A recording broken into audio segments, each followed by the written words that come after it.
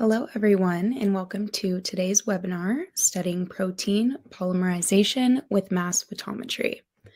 I am Morgan Sterling of LabRoots, and I will be your moderator for today's event.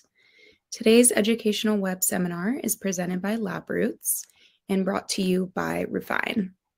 To learn more, visit refeyn.com. This webinar is educational and thus offers free continuing education credits. Please click on the continuing education window at the bottom of your screen to obtain your credits after the webinar. We do encourage you to participate in today's event by submitting any questions you may have during the presentation. To do so, simply type them into the Ask a Question box and click Send. We'll answer as many questions as we have time for at the end of the presentation.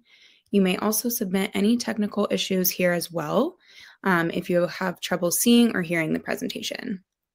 I'd now like to welcome our speaker, Nikolas Hundt, postdoctoral research associate, Ludwig Maximilian University of Munich. Nicholas, you may now begin your presentation. Yeah, thanks for the kind introduction. Um, and uh, I would like to thank Refeyn at this point for sponsoring this webinar. And um, I would like to thank all of you for your interest in my webinar. I would say let's jump right into it. You've all probably heard in one or the other way about these proteins that I've listed here. They are all biopolymers, um, which are involved in many different uh, important cellular processes. For example, uh, up there you see actin and microtubules, which are an essential part of the cytoskeleton. Uh, and they are basically involved in all the processes where cell where cells need to uh, change their shape uh, or move. Uh, for example, for um, uh, yeah production of cell protrusions or cell migration, cell division, and so on. Um, and then there's another group uh, of common biopolymers, which are called amyloids. Um, they are actually uh, not one type of protein, but many different ones. And um, amyloids are rather a structural state of um, proteins, where proteins form um, polymeric beta sheets. Uh, and then uh, from this over time form three-dimensional structures, which are called fibrils and they are important for a number of very prominent disorders. They're usually usually associated with the progression of the disease. Uh, the um, the, uh, the examples that, uh, that I've listed here are, for example, important for Alzheimer's, Parkinson's, Huntington's disease, diabetes, and Creutzfeldt-Jakob's disease. In order to understand the regulation of all these processes, it's of course crucial to uh, understand uh, how these polymers are formed. And um, how do you actually study the assembly of a biopolymer? Well, you can start off by understanding uh, what your polymer looks like structurally, for example. And for this, you can employ high resolution techniques such as uh, X-ray crystallography or cryo cryo-electron microscopy. And this way you can, for example, uh, uh obtain atomic structures of your monomeric subunits as well as the, um, the, poly the, polymerized state of your protein. But of course, um, looking at only the structure will not uh, tell you much about how the polymerization process is regulated and how it actually um, functions dynamically. So um, if you want to learn something about the polymerization process dynamically, you will probably go to um, a less resolution um, uh, technique. Uh, usually um, microscopy, light microscopy techniques are employed for this. Um, very common is fluorescence microscopy, where you label the individ some individual subunits of your polymer with a fluorescent dye. And then you can watch individual polymers grow and shrink over time. This is very useful to get like basic kinetic constants for the growth and shrinkage out, um, as well as to understand how, for example, uh, regulators uh, um, influence this process.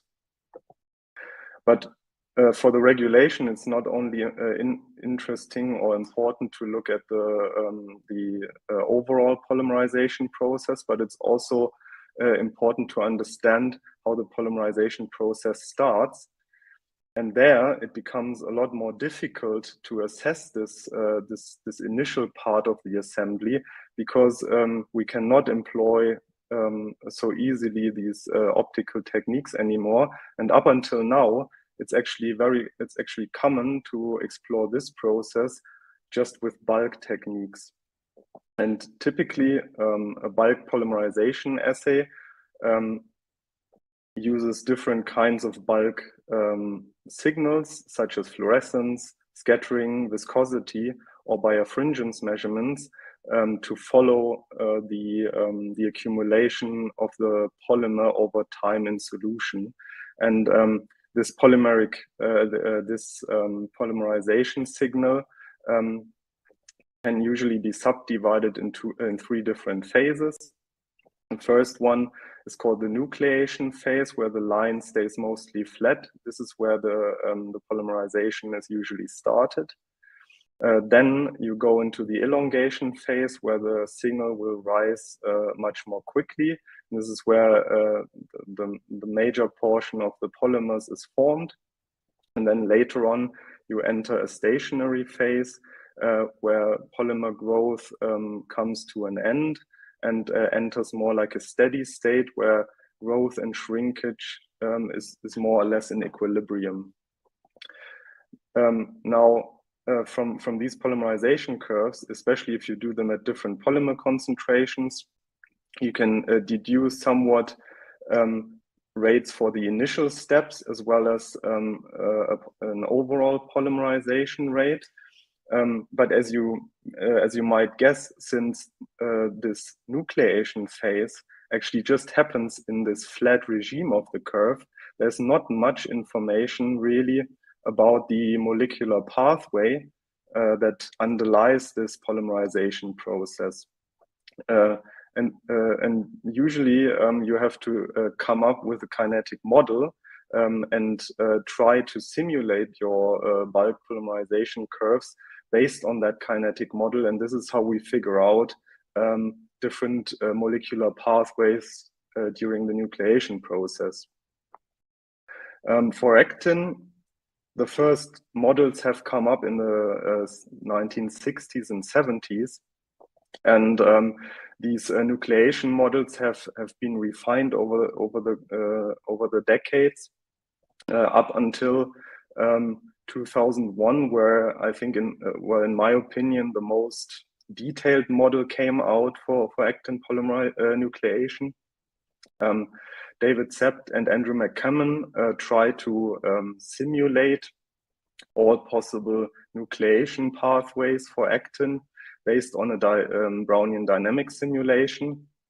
And essentially, how um, what uh, what they did was, um, as you can see on the left, uh, the the actin uh, polymer consists of a uh, of two helical strands, the blue one and the red one, and uh, each actin subunit can have contacts to the neighboring longitudinal subunits uh, in the same strand, as well as a, a cross filament contact uh, with the subunits on the other strand, basically. And uh, and then they've um, they've essentially uh, simulated uh, how stable all the possible combinations um, of nuclei were based on uh, based on their Brownian dynamics and uh, figured out a major pathway in which this nucleation process should happen, which is encircled with a dashed line here.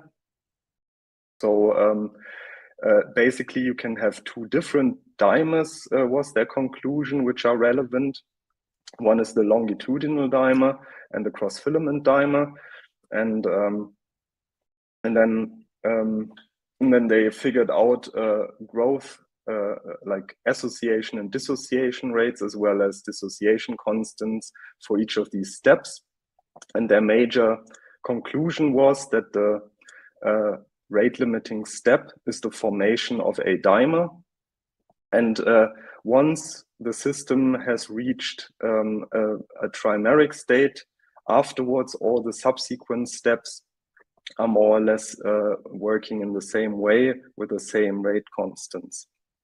And then, then they use this model um, and sca uh, scaled their theoretical rate constants to experimentally determined ones and compared their predicted bulk scattering curves with um, experimental ones and found uh, that their model uh, would explain it quite well.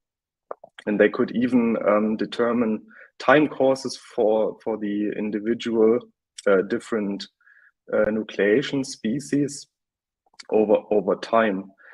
But unfortunately, up until now, um, this uh, theoretical model could not be confirmed experimentally. And you uh, you would ask yourself, why is why is that the case? That after uh, more than 20 years, um, it was not possible to reproduce this experimentally. Well, how would you measure this? Essentially, the simple task would be to quantify all polymer species dynamically using single molecule imaging. Well, yeah. Um, I mean, who has ever tried um, to uh, uh, to quantify this experimentally? For example, with um, single molecule fluorescence imaging, knows that this is a pretty hard task to do, um, uh, if, especially if there are spe more species than just a couple. But fortunately, more recently, um, we introduced a new uh, microscopy technique uh, called mass photometry, which is designed to do exactly that task. And uh, since you're sitting in this webinar, you're probably uh, familiar with the technique, but still I will go through the basic principle very quickly. So you shine a laser onto a uh, cover slip, um, uh, which, which holds a droplet of your protein solution and um, and then you record the light that come uh, that uh, that comes back um, onto a camera. And uh, the light that comes back in this uh, case is a combination of the reflected light from the water glass interface and the scattered light from little objects that are sitting on that interface. And um, the reflected light creates a bright background and uh, wherever a particle is sitting on the surface, um, the scattered light will uh, generate a small inter uh, destructive interference. And uh, uh, hence you will see kind of a, a dark dip at that position. And the darkness of that dip is directly proportional to the size of your uh, particle that you're looking at. And um, you can uh, calibrate that signal using proteins of known size.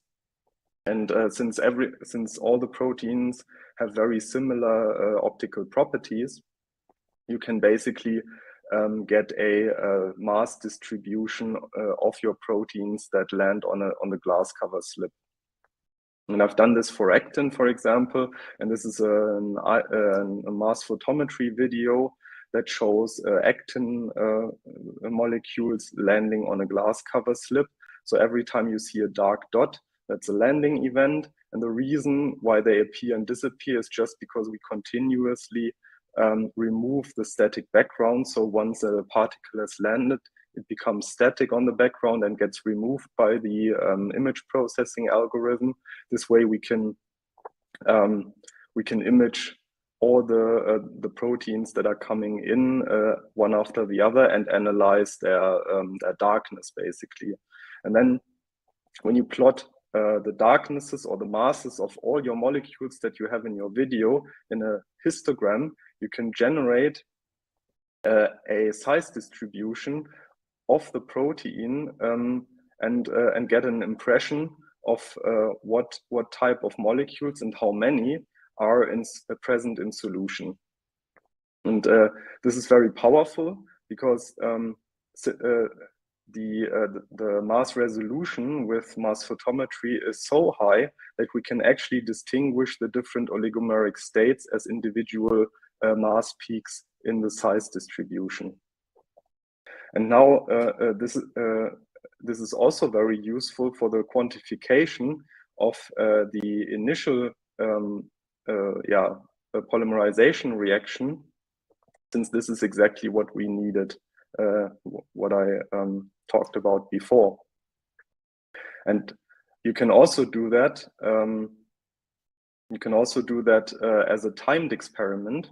And uh, the way the way I've done it, I um, I I've taken a, a, monomeric actin solution, added the polymerization status, uh, let the polymerization incubate for a while, and after different time points, I pipetted some uh, uh, some sample out of that um, uh, uh, out of that polymerizing solution into a um, cover slip with a droplet of buffer, and um, uh, and immediately watched landing of the molecules that have had formed after these different time points. And if you then compare the mass distributions um, of different actin concentrations at different time points, you will see that if you're working at or below the um, uh, the critical concentration of filament formation, which is the red curve, uh, there's not significant um, there's not a significant difference um, uh, at the different time points. But if you work above the critical concentration, the equilibrium shifts to larger uh, molecular masses. And this can be uh, crucially quantified by um, taking the area under the curve of this histogram. Uh, and as you can see, as I said before, like um, uh, beyond the critical concentration, you get growth essentially. And um, uh, below the critical concentration, uh, the mass distribution stays more, more or less constant. But this is really a ju just a very crude analysis. The, the actual advantage of this uh, lies in the fact that we can quantify principally every individual um, species that is present during the polymerization process um, individually and uh, take a time course of it. And the way I've done it, um, I, uh, I, I, I, took the um, yeah the the size distribution and uh, used a combination of Gaussian fitting uh, plus uh, for for the well-defined peaks and uh, just bin, uh, simple binning uh, for the less well-defined peaks for the higher masses, and um, determined um, molecule counts for each oligomer size. And this can, since I know the overall con concentration of actin, can be directly converted into concentrations of, of each of these species.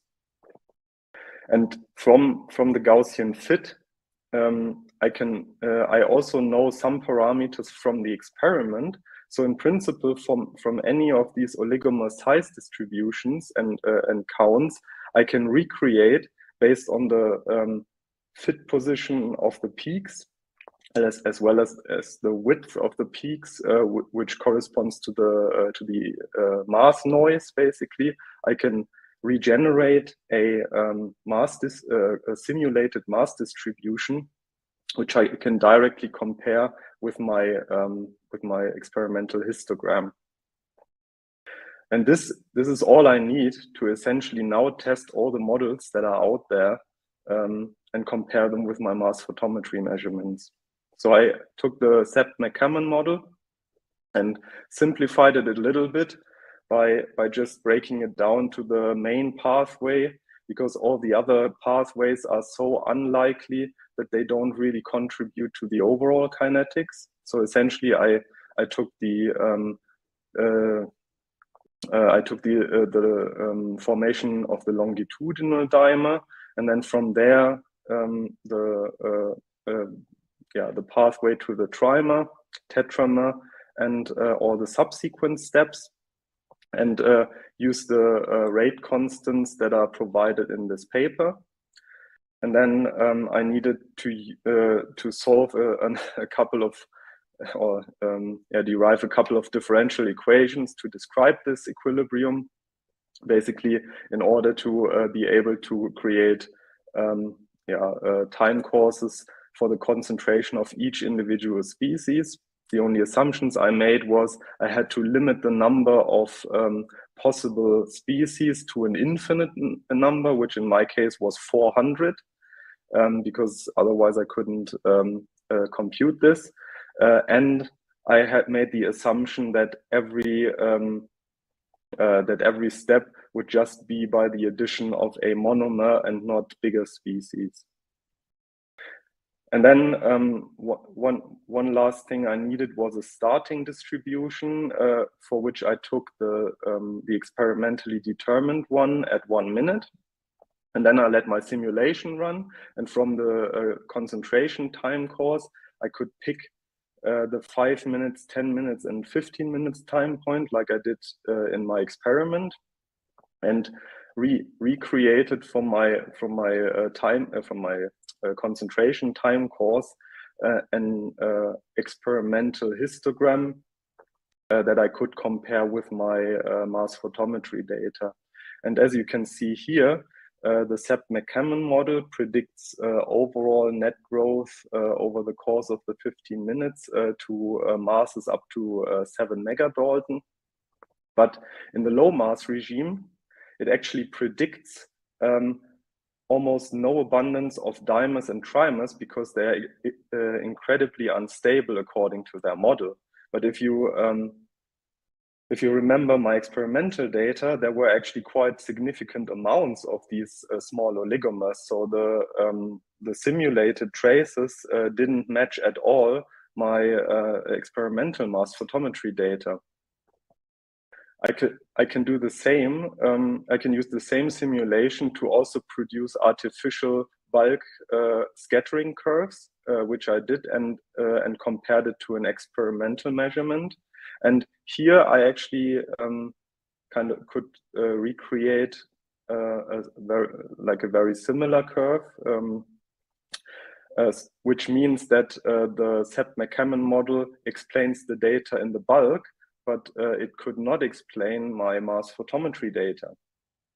So my first um, attempt to uh, to uh, uh, yeah to to overcome this problem, I tried to adjust the rate constants of the model until my uh, experimental data and uh, and the uh, size distribution perfectly matched. But then I had the the issue that I didn't observe any net growth uh, into long filaments, as you can see in the in the top uh, time course of the distributions, and also uh, there was the light scattering curve was just a flat line basically. Huh, this was this was a bit puzzling because um, that that meant that the common model could not explain um, at the same time my uh, my bulk data and the mass photometry data. So I stepped back and thought again about what these nucleation models uh, were considering, and I noticed that they weren't really considering all the information that is out there about actin. So uh, first of all, actin is a um, is a um, polar uh, polymer, which means that one end is different from the other end. Um, and the, the different ends have different um, uh, uh, association and dissociation rate constants. This is something that uh, these models haven't considered so far. And also, we know that actin is an ATPase, which means um, usually uh, ATP actin gets preferentially incorporated at the barbed end of the filament. And then once it's incorporated, it can uh, cleave uh, ATP into ADP and phosphate, and then later on release the phosphate. And the ADP actin then preferentially leaves the filament through the, uh, through the pointed end. And the, the common nucleation models uh, completely disregarded this fact so far.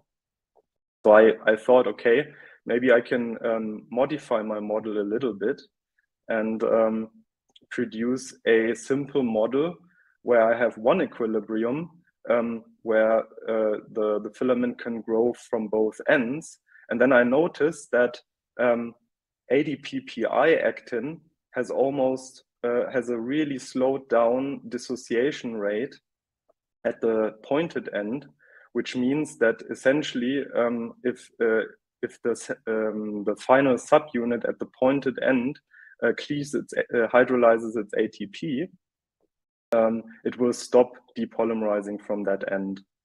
Um, and uh, so, so essentially, I I, uh, I have a, a slow transition um, uh, from from this top equilibrium to the bottom equilibrium with different rate constants.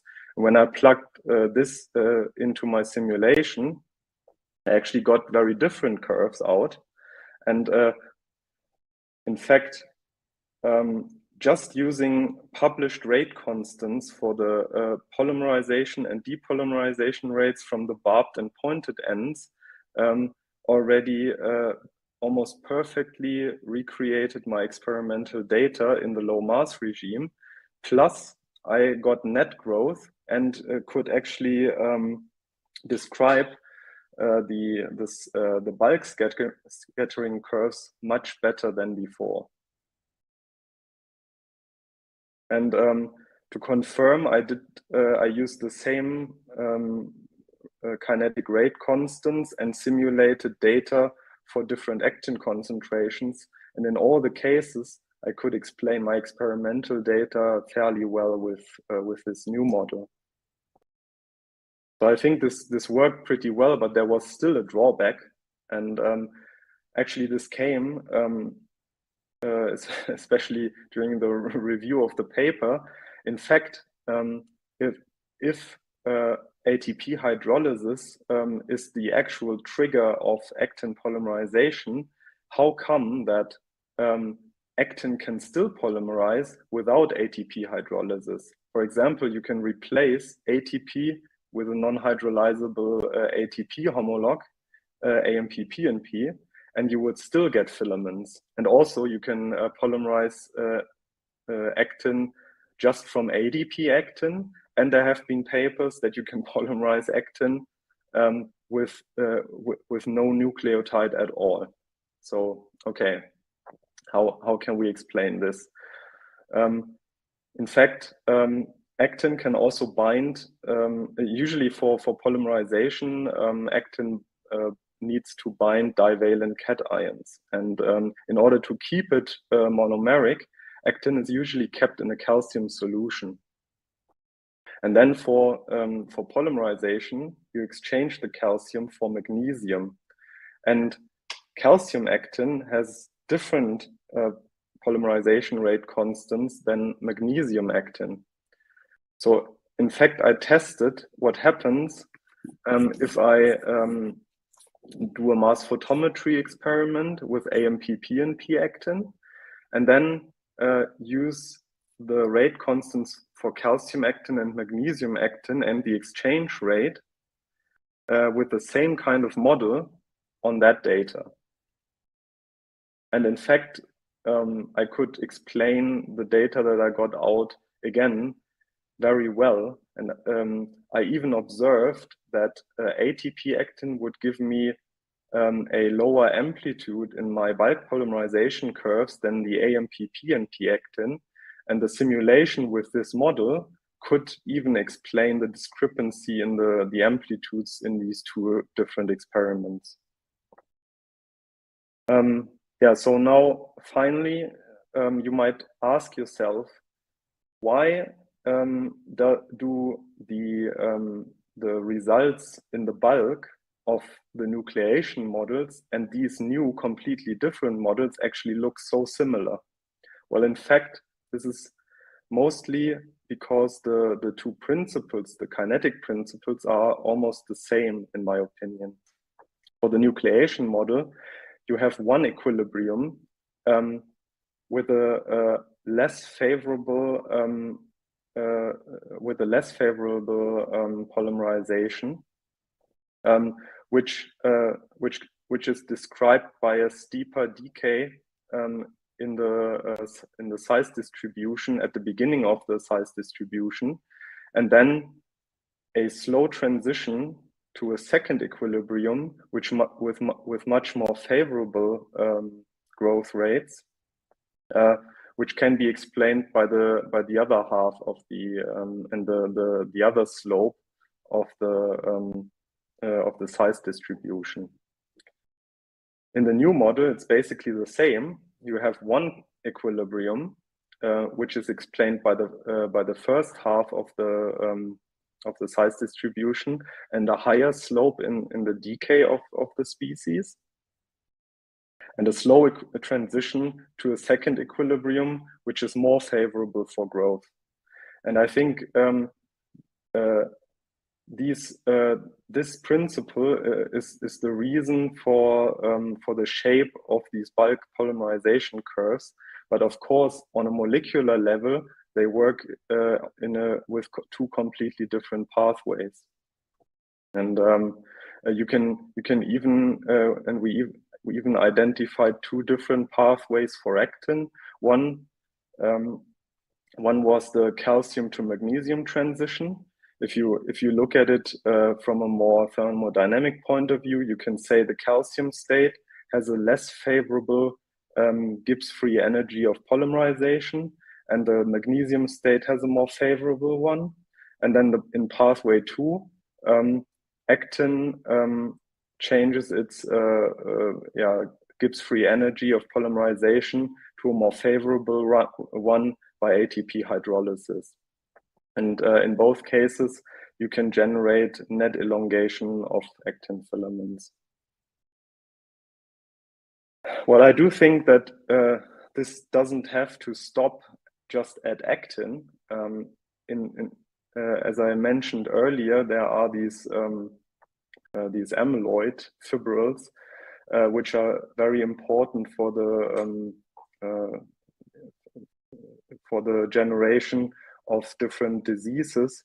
And in particular, uh, nowadays it's uh, it's thought that um, that the onset of these polymerization reactions are the actual cytotoxic events that that are relevant for the uh, for the progression of the disease, and therefore it, it since since these systems lack the same uh, methodology for investigating the small oligomers, I think mass photometry can really help to gain more insights into uh, uh, yeah into these disease uh, mechanisms. Finally, I would like to thank a couple of people, especially um, my uh, previous lab mates from the Kukura lab in Oxford. They are uh, an amazing group of people and they are really good microscope builders. Um, without them, it would have never been possible to uh, image and, uh, and do mass photometry on actin uh, at this quality. I would also like to thank my collaborators from Oxford who helped me a lot in the data analysis uh, and also Josiah Kane from Refeyn who helped me uh, with data analysis and um, our collaborators from the NIH, Jim Sellers and Harry Takagi, who provided me with the raw material for producing actin and finally, I would like to thank my new supervisor, Claudia Veigel here in Munich, uh, who gives me the opportunity to explore um, amazing new um, uh, avenues for applying mass photometry. And finally, I would like to thank you for your attention.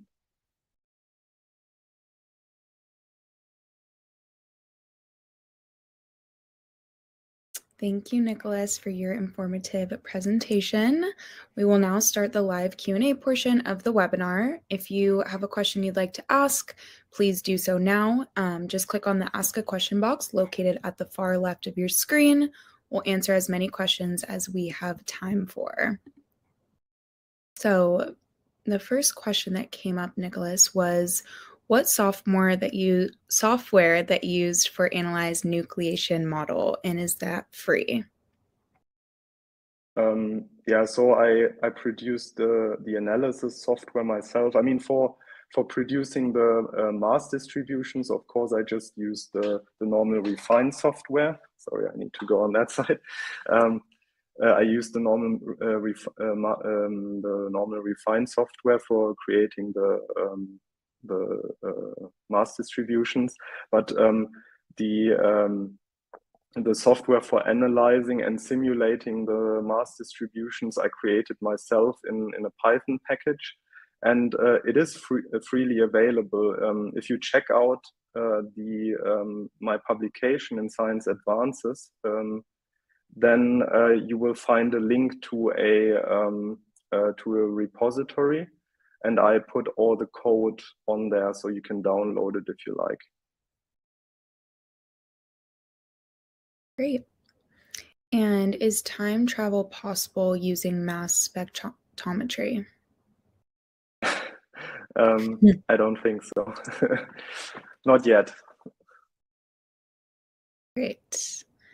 Um, and then we have a bit of a situation here. So, someone said that they used MP to study huntingtin fusion protein, but while the protein had a nominal mass of 58 kDa, using the calibration curve, it came out to be calculated as 74 kDa, which is significantly different than a predicted 5% error.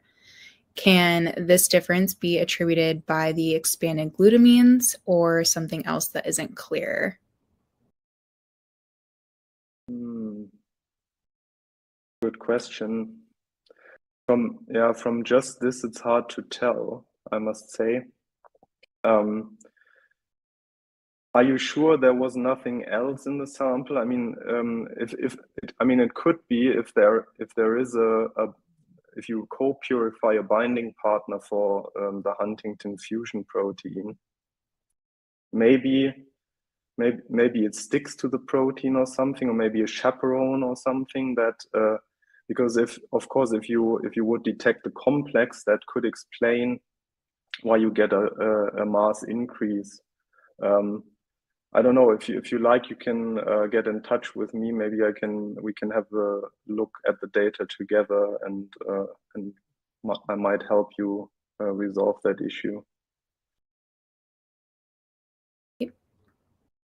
Next question. Um, excellent work, Nikolas. Would you be able to tell how well MP is compatible with high 300 mm NaCl concentrations?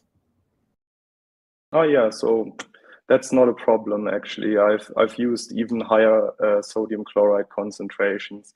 The only um, difference for higher salt concentration is that the buffer then has a different refractive index than at lower salt concentrations. So if you do your mass calibration, you should always use the same buffer and same salt concentration as you use for your um, pro protein of interest um, because yeah, the, the slope of the mass calibration might be slightly different at these high salt concentrations. Great. And how did mass photometry help you resolve biases with kinetic model overfitting?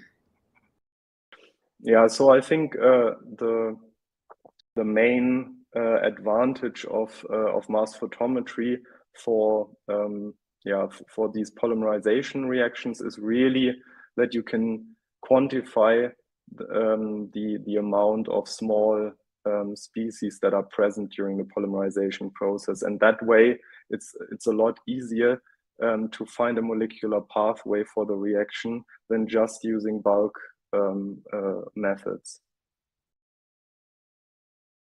Awesome. And Nikolas, are there any drawbacks to, excuse me, using mass photometry compared to classical bulk-based method methods? Yeah.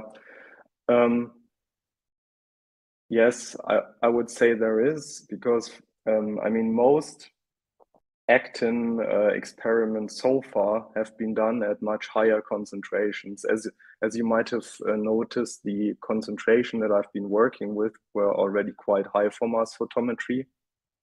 Um, but I had to because the critical concentration of uh, actin is uh, 120 nanomolar, and that's already fairly high. But in order to see something, I had to go higher than this. Um, and the way I overcome this problem in my case was that I that I um, put a droplet of buffer onto my cover slip beforehand, and then I diluted my actin solution into that droplet and hoped that, that the complexes uh, that were forming didn't fall apart during the time of the acquisition. Um, that's that's how I had to do it in this case. So I think one of the major drawbacks um, for these kind of polymerization reactions is really uh, that you that you might not um, get uh, to the concentrations that you need to for polymer formation. Great. And it looks like we have one more question. Um, if anyone has any more questions, go ahead and ask them now. Um, the next question for you, Nikolas, is how does mass photometry compare to other single molecule techniques for the study of protein polymerization? Did you consider using any of these other techniques? Um, not in particular for the actin polymerization. I think the the reason why there has never been really as um, an experimental uh, study single molecule uh, like single molecule study on actin nucleation is because it's super difficult with other techniques. For example, if you would be using something like uh, single molecule uh, fluorescence um, and do uh, something like stepwise photo bleaching and so on, we would probably be able to detect the um, the dimers and trimers that we've seen with mass photometry, but it is much much harder to quantify these, and especially um, um, uh, especially for for for this huge number of different species, I think it's really hard with uh, especially fluorescence techniques to uh, get the same quality of data that we got with mass photometry. Awesome. Great. Well, looks like that wraps up our questions. Um, thank you, Nikolas, for your time today and your important research. We would also like to thank LabRoots and our sponsor, Refeyn, for underwriting today's educational webcast. Before we go, I'd like to thank the audience for joining us today and for their interesting questions. Questions we did not have time for, or if something else comes up, um, in the on demand period, we will be addressed by the speaker via the contact information you provided at the time of registration. Um, this webcast can be viewed on demand. LabRoots will alert you via email when it is available for replay. We do encourage you to share that email with your colleagues who may have missed today's live event. Until next time, thank you, Nikolas, and goodbye. Thank you. Goodbye.